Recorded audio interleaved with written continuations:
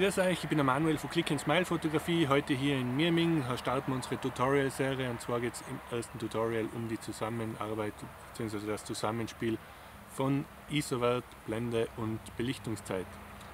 Wir haben da hier in Mirming heroben so ein Maisfeld ausgesucht. Gibt es natürlich interessantere und spektakulärere Sachen, wo man das zeigen könnte. Der Vorteil vom Maisfeld meiner Meinung nach einfach, dass ein Mais neben dem anderen steht, immer im ziemlich gleichen Abstand da kann man das mit Blendentiefe und so weiter, mit, Blenden, mit den Blenden und mit der Schärfentiefe und so weiter gut darstellen und auch verständlich darstellen. Ich starte gleich mit dem ISO-Wert. Was ist der ISO-Wert? Das ist die einfachste Komponente von den drei Komponenten ISO, Blende und Belichtungszeit. Und zwar der ISO-Wert sagt einfach, wie empfindlich der Sensor ist mit dem Licht, was auf ihn drauf fällt. Sprich, ein ISO 100-Wert lässt weniger Licht bzw. bildet das Bild äh, dünkler ab als wie ein ISO 200 Wert. Bei äh, niedrigpreisigen Kameras, so wie die 600D, hat man dann das Problem, dass je höher der ISO-Wert wird, ab 600, 700 ISO, dass das Bildrauschen anfängt. Bildrauschen heißt, dass in den dunkleren Stellen schwarze Punkte äh, zu sehen sind, sprich, dass nicht eine schwarze Fläche zu sehen ist, sondern schwarze Punkte, die das Bild ein bisschen stören. Der zweite Wert ist die Belichtungszeit. Je länger belichtet wird, desto heller wird das Bild. Auch eine logische Sache. Wenn ich jetzt nur eine Sekunde Belichtungszeit habe, dann wird das Bild eine gewisse Helligkeit haben. Wenn ich zwei habe, dann wird es natürlich heller, wenn man die anderen Einstellungen aber gleich lässt. Und Punkt 3 ist die, äh, die Blende. Da kann man mit Schärfentiefe arbeiten zum Beispiel. Die Blende ist so, dass die vom Objektiv abhängt. Bessere, höherpreisige Objektive haben eine höhere Blende, das ist der Wert 2,8 oder bei Kit-Objektiven, die was beim Kamerakauf dabei sind, 3,5 bis zum Beispiel 5,6. Also das gibt immer den Blendenwert da. Was macht die Blende? Erstens einmal ist sie für die Schärfentiefe verantwortlich, sprich wenn jetzt der Fokus auf diesem Blatt liegt und diesem Maiskolben liegt und ich habe die Blende 4, dann wird es ab dem vierten Maiskolben da hier schon langsam unscharf. Dann mache ich den Blendenwert höher, sprich Blende 8 oder Blende 10, verändert sich auch die Schärfentiefe, sprich da wird vielleicht bis zum 10., 15. Mais alles scharf abgebildet sein. Der Nachteil daran ist, je höher der Blendenwert, Sprich, wenn man 8 im Vergleich zu 2,8 hat zum Beispiel, dann wird der 2,8 Wert viel mehr Licht durchlassen, weil es bei Blende ein bisschen anders ist. Das irritiert oft ein bisschen. Wenn man Blende 8 hat, kommt weniger Licht durch als, Blende, als bei Blende 2,8.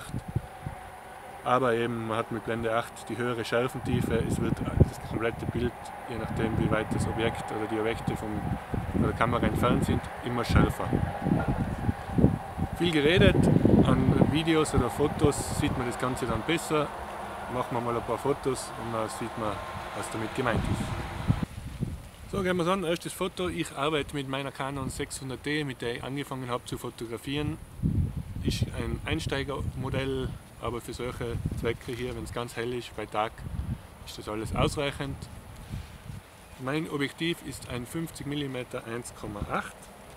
Ist ein sehr günstiges Objektiv, kostet 80 Euro, ist rein aus Plastik, aber gerade für solche Landschaftsaufnahmen, auch von der Schärfe her, ist es super geeignet. Also kann ich empfehlen, wer sowas machen will, 50 mm 70 bis 100 Euro, 70 gebraucht und an die 100 Euro neu, schafft es auch an. Und jetzt starten wir einmal mit den Einstellungen, schauen wir mal, was wir brauchen da schon ein bisschen probiert, ist immer eine Sache, man muss natürlich schauen und sich herantasten an die Lichtverhältnisse und so weiter.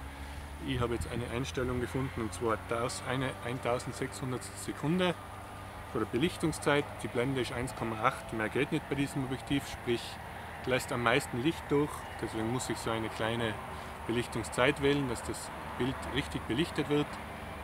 Und den ISO-Wert bei 100 Tageslicht mehr als 100 braucht man da eigentlich nicht. Das wird dann eher interessant, dass man den erhöht, wenn es dunkler wird. Aber wir haben strahlenden Sonnenschein, ISO-Wert 100, was anderes gibt es da nicht. Okay, wie gesagt, 1600 Sekunden, Blende 1,8, ich fotografiere.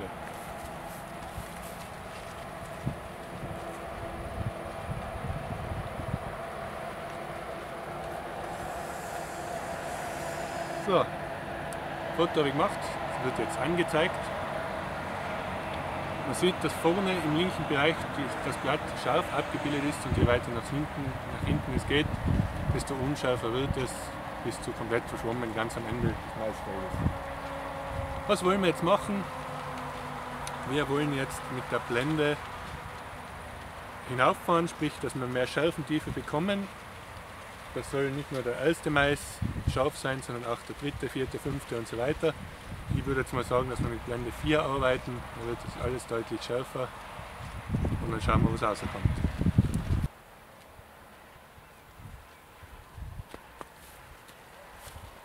Ja, das Bild, was bei Blende 4 und den gleichen Einstellungen wie vorher, also ISO 100 und äh, Belichtungszeit eine 1600 Sekunde rauskommen ist, ist wieder eingeblendet. Man sieht, da ich nur die Blende verändert habe, sprich jetzt weniger Licht reinlasse, hat sich zwar die Schärfentiefe erhöht, aber das Licht ist dunkler, weil einfach weniger Licht durchkommt und der Sensor bekommt weniger Licht ab. Wie tut man da jetzt gegensteuern? Wie gesagt, ISO 100 wird dabei belassen. Bei Tageslicht braucht man nur ISO 100 und wir müssen die Belichtungszeit herunterstellen, sprich weniger lang belichten, dass weniger Licht auf den Sensor kommt. Das machen wir jetzt. Was hat sich jetzt geändert? Das Bild ist natürlich heller geworden, weil wir eine längere Belichtungszeit gewählt haben.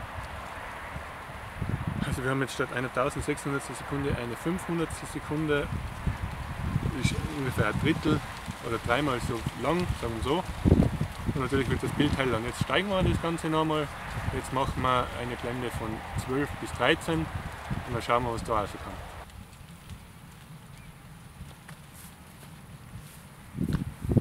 So, jetzt haben wir einen Schlamassel, jetzt ist das Bild ganz dunkel, fast nichts mehr zu sehen, weil wir von Blende 4 auf Blende 13 einen sehr hohen, großen Sprung haben. Ja, Foto mit den Einstellungen, eine in dem Fall jetzt 80 Sekunde und den Blendenwert 13 und 100 ISO ist jetzt gemacht. In dem Fall sieht man jetzt, dass da hinten der Strommasten schon ziemlich scharf ist. Also jetzt nicht 100% scharf, aber es ist schon so, dass man sagt, man erkennt einen Strommasten im Vergleich zu vorher, wo alles verschwommen war. Und ja, das war es eigentlich von dem Tutorial. Natürlich gibt es zu jedem von den ganzen Einstellungen viel, viel mehr zu sagen, aber da werden wir natürlich in Zukunft drauf eingehen. Wie gesagt, einmal die Woche gibt es ab sofort ein Video, immer mit gewissen anderen Themen. Wenn ihr einen Vorschlag habt, was ihr sehen wollt, zum Beispiel ihr wollt einen Hund fotografieren und wollt ein Hundeshooting-Tutorial oder ähnliches oder ein Familien-Fotoshooting äh, machen, planen, gebt mir Tipps, macht Vorschläge, was man zeigen könnte. Ansonsten freue ich mich, wenn ihr meinen neuen YouTube-Kanal abonniert. Einmal die Woche gibt es ein Video. Zusammen schaffen wir es, dass aus eure Bilder mehr wird als nur ein Automatikmodusbild. Man kann einfach viel mehr machen mit den ganzen Einstellungen, man kommt viel weiter, kann viel mehr darstellen und so weiter. Also schaut vorbei, Kanal abonnieren, würde mich freuen, wenn ihr einen Daumen auch da lasst. Ich wünsche euch alles Gute, bis zum nächsten Mal. Vielen Dank.